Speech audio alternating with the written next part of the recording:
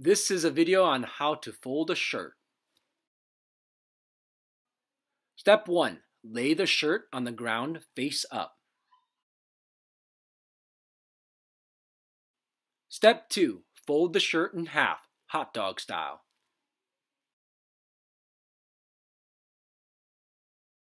Step 3. Fold the sleeves in so it makes a straight line.